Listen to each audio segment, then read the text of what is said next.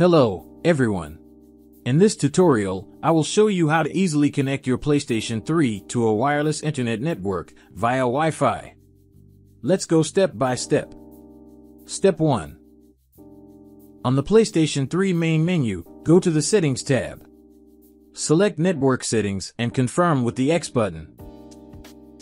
Choose Internet Connection Setup and press X again. Step 2. Select the custom option and press the X button. Choose wireless and confirm with X. Step 3.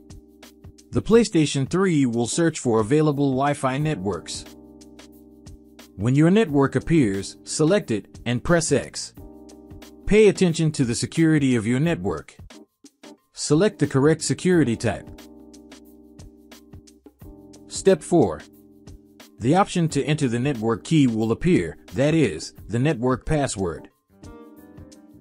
Use the on-screen keyboard to enter your password correctly and press start. Step 5.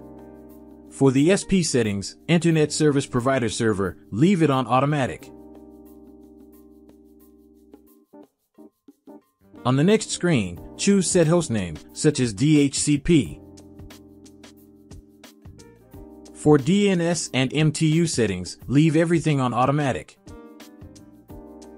Step 6. When you get to the proxy server option, select Do Not Use. In UPnP, Universal Plug and Play, uncheck to disable this feature. Step 7. After reviewing all the settings, select Confirm. The PlayStation 3 will test the connection and, if everything is correct, it will display Internet connection, success. That's it. Your PlayStation 3 is now connected to the Internet via Wi-Fi. If you have any questions, just leave them in the comments and I'll be happy to help. Until next time, and have a great day everyone.